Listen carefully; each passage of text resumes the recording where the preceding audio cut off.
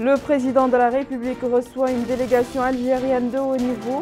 Au menu des entretiens, le renforcement de la coopération bilatérale et la lutte contre le Covid-19. Le comité interministériel présidé par le Premier ministre passe en revue le bilan des interventions entreprises par l'État, particulièrement en ce qui concerne les inondations de l'année dernière à Célibali. Nouveau bilan de la situation épidémiologique, 20 guérisons, 58 nouveaux cas et 2 décès.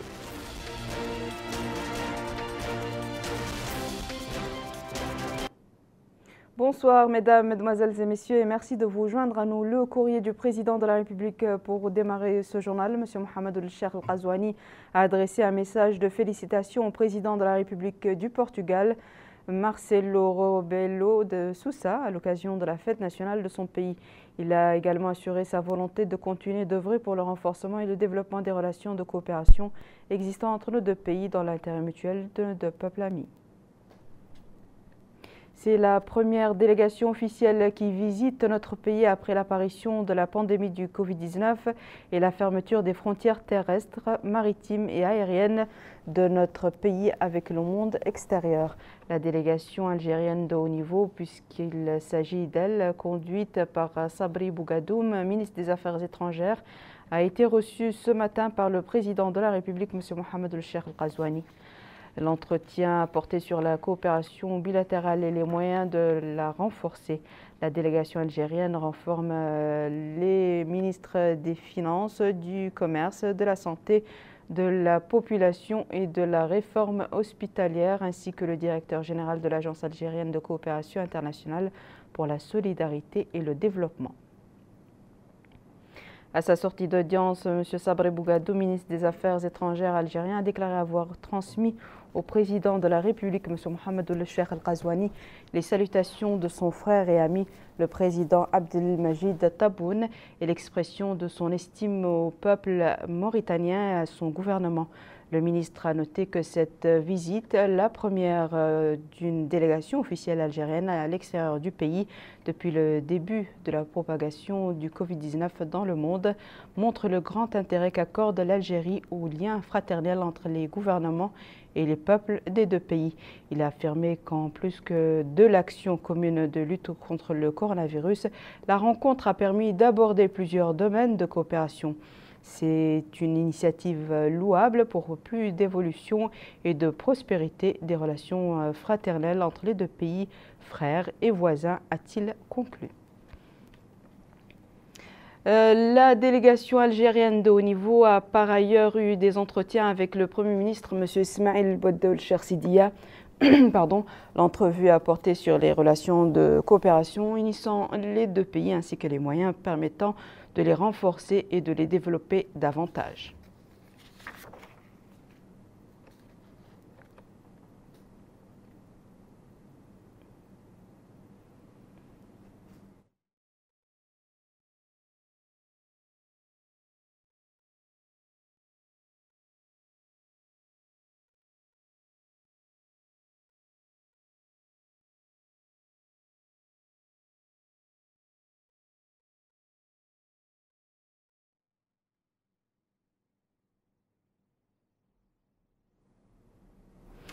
Je le disais dans les titres, le Premier ministre, M. Ismaël Boddol Chersidia, a présidé ce soir à la primature la réunion du comité interministériel chargé des situations d'urgence et des inondations.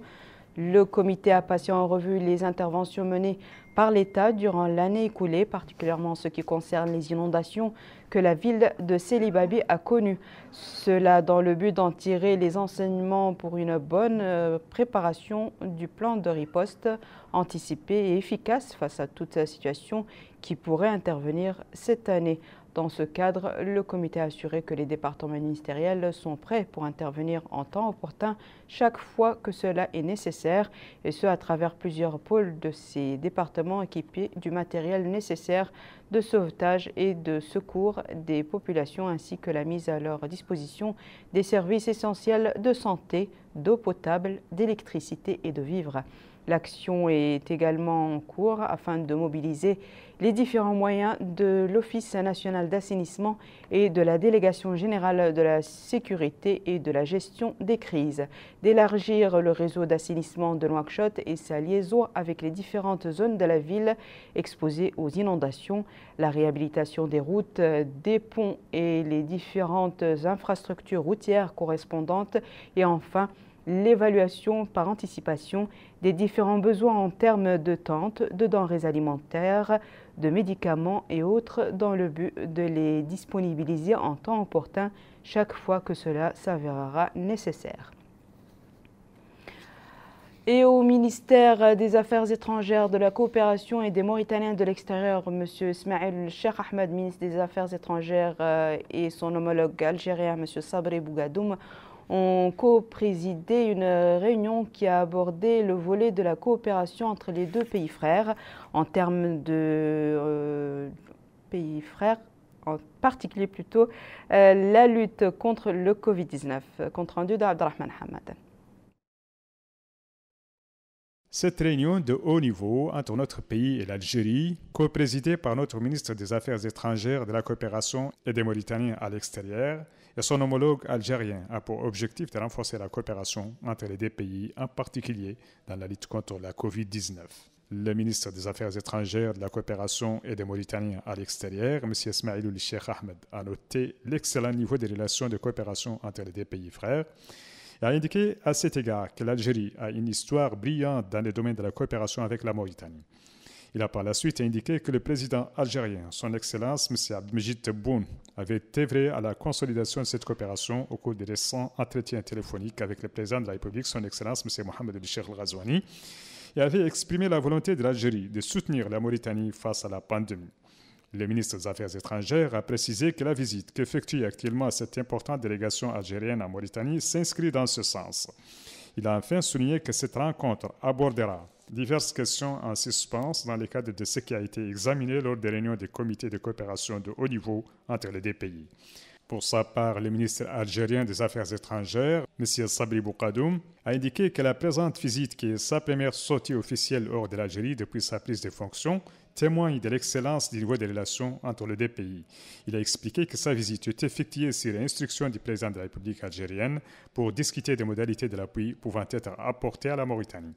Il a ensuite souligné que l'Algérie est pleinement prête à coopérer avec la Mauritanie dans tous les domaines, notamment face aux effets du coronavirus, avant d'ajouter que les conséquences éventuelles de la pandémie sur l'économie seront abordées lors de la réunion afin de trouver des solutions appropriées.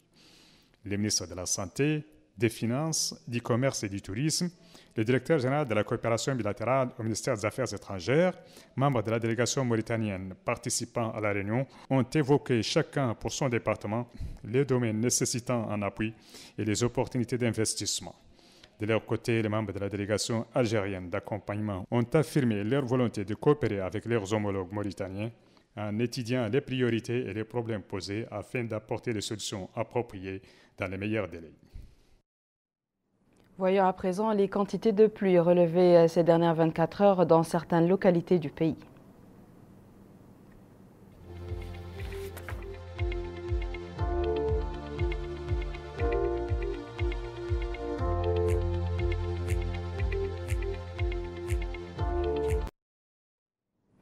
Place maintenant au point de presse quotidien. Pour ceux qui ne le savent pas encore, le directeur de la santé publique, Dr Sidul Zahav, a relevé euh, que durant les dernières 24 heures, 20 personnes ont été déclarées guéries, 58 nouveaux cas testés positifs au Covid-19 et deux décès sont déplorés. Nous l'écoutons. Chers citoyens, chers journalistes, bienvenue au point de presse journalier sur la situation épidémiologique du Covid dans notre pays, marqué aujourd'hui par 58 nouveaux cas, 20, 20, guérisons et on déplore deux décès parmi les malades qui étaient hospitalisés. Les 58 cas sont des cas contacts et on n'a pas de cas communautaires aujourd'hui. Et ceci porte le nombre de cas enregistrés depuis le début de l'épidémie à 1162 cas, 138 guérisons et 61, 61 décès. Rahmatullahi. Les cas contacts ont été de 1097 et les cas communautaires 59 et on a les six cas importés au début de l'épidémie. Les cas encore suivis sont au nombre de 962, dont 892 sans signe de, maladie, 59 qui ont des signes légers, et on a aujourd'hui 11 cas qui, qui sont considérés comme graves. Quant au dépistage, on a réalisé aujourd'hui 431 tests, dont 63 tests de suivi et 368 de diagnostic, répartis entre Nouakchott 348 tests, 8 tests d'Ibracna et 12 d'Itrarza. Les 58 nouveaux cas se répartissent ainsi au niveau des Mokata 11 de Darnaï, 10 de Tert, 21 de Toujounine, 1 d'Ixar, 9 cas de Tevrarzena, 4 d'Arafat, 1 cas d'Elmina et 1 de Rosso. Euh, J'ai insisté sur l'importance du recours aux, aux, hôpitaux en cas, de, en cas de problème chez les malades qui sont actuellement dans les maisons. On a maintenant des cas positifs asymptomatiques euh, à domicile, mais le fait qu'ils soient asymptomatiques, ça n'exclut pas qu'ils puissent avoir des complications. Et donc, nous demandons à tous les citoyens d'être vigilants et d'amener euh, tous les malades qui, représentent, euh, qui, représenteraient des signes, les amener dans les services d'urgence des hôpitaux, comme d'ailleurs ils le faisaient euh, en dehors du Covid. Chaque fois quand il y a une situation critique ou quelqu'un qui a un problème de santé, on l'amenait au service d'urgence des hôpitaux. Autant le faire pour les cas positifs qui sont aujourd'hui à domicile, afin que l'on puisse euh, sauver ceux que Allah subhanahu wa ta'ala euh, voudrait qu'ils qu soient, sauvés. Donc, euh, nous, voulons éviter vraiment ces décès qui se produisent à domicile parce qu'ils nous posent beaucoup de problèmes. Tout décès actuellement doit être testé avant d'être enterré c'est justement pour nous assurer que tout décès euh, ne soit pas remis à la, famille si c'est un décès lié au Covid. Parce que la manipulation des corps, des dépouilles mortelles qui sont infectés représente un grand risque pour, euh, pour la population et, pour, dans le cadre de la propagation euh, de l'épidémie. Donc, quand un décès se produit, Naturellement, on l'amène dans les hôpitaux pour avoir un certificat de décès, mais maintenant, autant plus, il faut qu'on fasse un prélèvement, un test, et que je demande à tous les citoyens d'être patients par rapport à cela. Et quand on fait un prélèvement, on doit attendre quelques heures pour que les résultats puissent être remis. On a mis en place tous les dispositifs pour accélérer la remise des résultats euh, des, pré des, prélèvements sur les dépouilles mortelles. Malheureusement, euh, le test chez les dépouilles mortelles ne peut pas se faire avec le test rapide. Il doit se faire absolument avec la PCR. Et donc, on demande la patience des familles quand ils amènent un décès, le temps qu'on puisse sortir les résultats. Et donc, si le résultat est négatif, on remettra la dépouille à la famille. Par contre, si le résultat est positif, ce sont nos équipes formées qui vont s'occuper euh, du corps et qui vont le transporter, l'enterrer, et tout ceci en concertation, en coordination avec la famille pour qu'elle puisse assurer la prière et que euh, la famille puisse assister au, au, à l'enterrement. هذا وأصلي وأسلم على أشرف المرسلين وإلى غد إن شاء الله Le ministère de la Santé détient désormais un magasin dans lequel est stocké tout le matériel destiné à la lutte contre le Covid-19.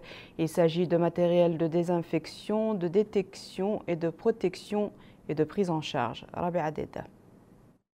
Le ministère de la Santé a mis en place en cette période marquée par la lutte contre la Covid-19 un magasin qui regroupe l'ensemble du matériel destiné à la lutte contre cette pandémie. Le directeur des ressources humaines au ministère de la Santé, M. Bounaoul a effectué une visite au niveau de ce magasin pour s'enquérir de l'état du stock. Ce magasin de 8000 m2 reçoit tous les dons et achats effectués par le ministère de la Santé. Alors, on se retrouve aujourd'hui euh, au magasin central du ministère de la Santé dans lequel euh, on emmagasine euh, l'ensemble des intrants nous permettant une bonne lutte contre cette pandémie Covid-19. Ces intrants qui se, qui se composent sur plusieurs, euh, plusieurs catégories, passant, en commençant par d'abord la désinfection, puis la protection, la détection, mais aussi la prise en charge des différents malades. Donc tous les intrants nécessaires pour la lutte contre cette pandémie se trouvent dans ce magasin-là et c'est à partir de ce magasin qu'il y ait la distribution vers les différents centres de santé en fonction de leur euh, volume, mais aussi en fonction de leur activité. Euh, ce, magasin de 8000 m2 euh, reçoit tous les dons des particuliers, de nos partenaires au développement, mais aussi tous les achats qui ont été opérés en collaboration avec nos différents partenaires au développement. Euh, tous les stocks du magasin sont suivis grâce à un logiciel avec l'aide duquel le ministère de la Santé compte éviter les ruptures de stock. Le dernier don reçu dans ce magasin se compose de matériel de radiologie, d'une unité de réanimation et de matériel de protection, destiné à accompagner les différentes structures sanitaires du pays dans cette lutte contre la COVID-19. Direction à présent la wilaya du Guidimaka et précisément sa capitale Célibabi pour parler des visites effectuées par le Wali au niveau des magasins de stockage d'aliments de bétail ainsi qu'au marché de la ville dans lequel il a procédé à la distribution de masques aux usagers. Aminata Khan. Le wali de la wilaya du Gidimara, Taleb ou Mohamed Mahmoud, a effectué aujourd'hui une visite au marché central de la wilaya. Objectif, s'enquérir des conditions d'hygiène mises en place par le gouvernement, mais également du respect de ces mesures. Une équipe du Croissant Rouge mauritanien est sur place pour faire respecter les mesures barrières à l'entrée du marché et à la sortie. Nous avons interrogé l'un d'entre eux qui a indiqué à notre micro que chaque jour, il désinfecte le marché deux fois. Ils ont également procédé à la désinfection des écoles, des bâtiments administratifs et des mosquées. Il poursuit en indiquant que 24 centres sont ouverts dans toute la wilaya du Guidimara. Avec l'approche de la saison hivernale, la wilaya du Guidimara a déjà enregistré ses premières pluies. C'est dans ce cadre que le wali de la wilaya du Guidimara s'est rendu au magasin où sont stockés les aliments de bétail qui seront vendus à des prix subventionnés par l'État. Au cours de la réunion, le wali de la wilaya du Gidjimaha, Tayyibul Mohamed Mahmoud, a mis en exergue l'intérêt qu'accorde le président de la République au programme pastoral 2020 en dépit du contexte du Covid-19 et de la situation mondiale, ajoutant que la wilaya accueillera cette année un nombre important de bétail, beaucoup plus important que les années précédentes, à cause de la fermeture des frontières avec le Mali et le Sénégal, pays qui constituaient des destinations pour les nomades transhumants. Cette situation, dira-t-il, exige de fournir les aliments de bétail en quantité suffisante dans toutes les communes pour les mois de mai, juin La wilaya du Guidimaha est réputée par la richesse de ses pâturages. Il constitue une destination privilégiée pour les éleveurs transhumants de toutes les wilayas du pays. À Zouerat, dans l'extrême nord du pays, nombre de citoyens déplorent le manque de vigilance de certains de leurs concitoyens auxquels ils reprochent de ne pas respecter les mesures préventives alors que la cité minière vient d'enregistrer un nouveau cas de Covid-19. D'autres ont saisi la présence de notre micro pour demander aux autorités d'apporter leur soutien aux foyers vulnérables. Retour à Abdelrahman Hamad. Les habitants de la ville de Zouerat, capitale régionale de la wilaya de Tirzamour, vivent actuellement sous le rythme de l'apparition d'un nouveau cas confirmé de la COVID-19. Malgré les campagnes de sensibilisation menées par les pouvoirs publics et la société civile sur les mesures de prévention contre la propagation de cette pandémie, le niveau de vigilance des populations reste très limité.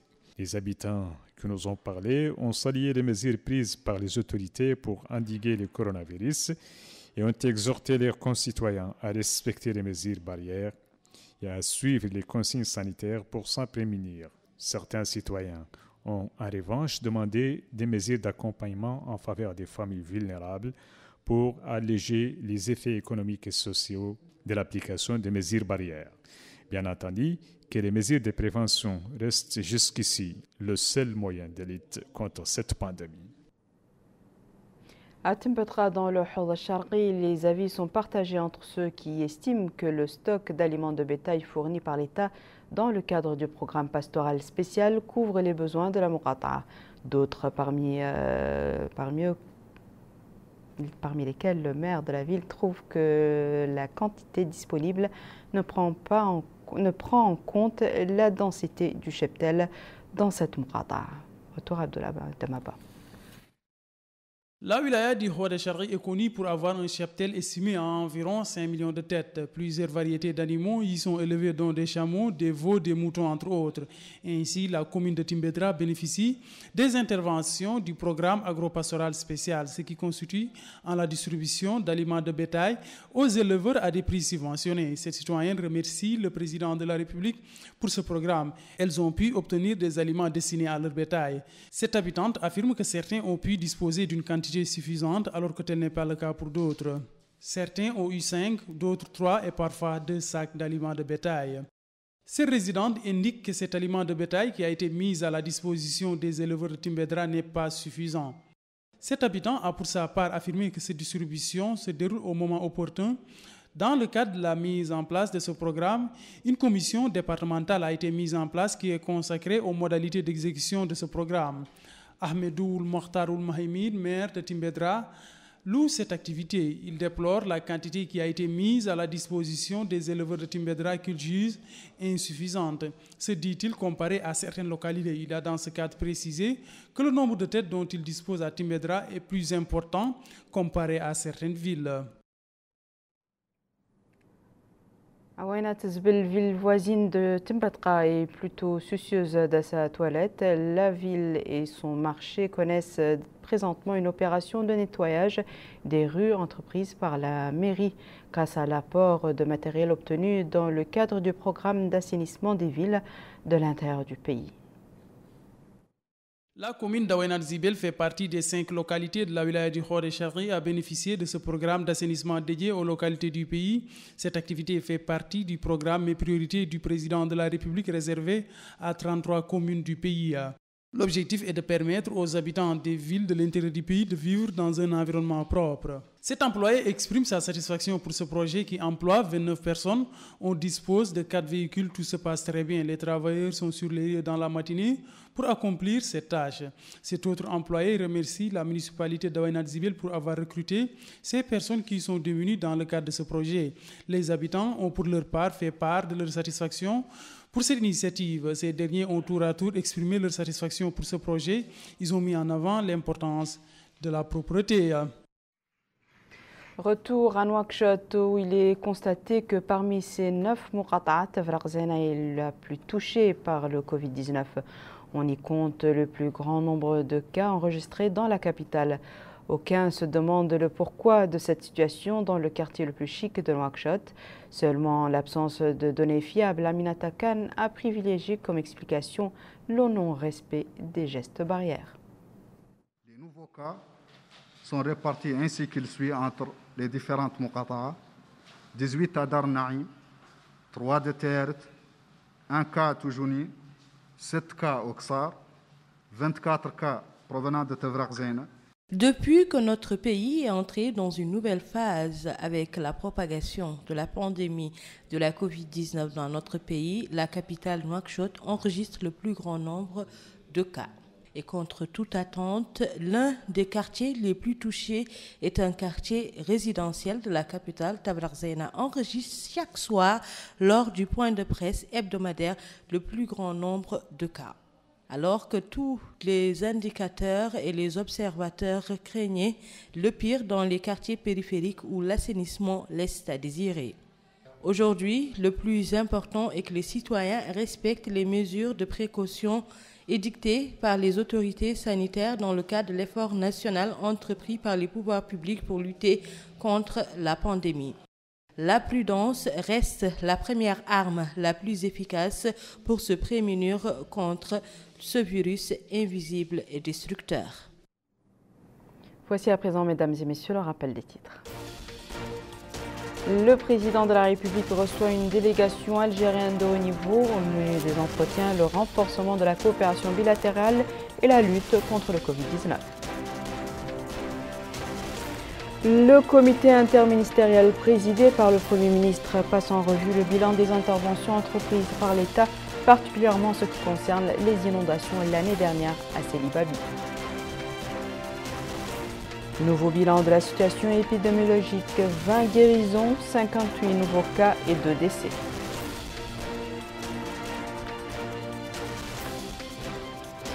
C'est la fin de ce journal, mesdames et messieurs. Merci à vous de nous avoir suivis. Merci de fidélité. On se retrouve demain à la même heure, Inch'Allah.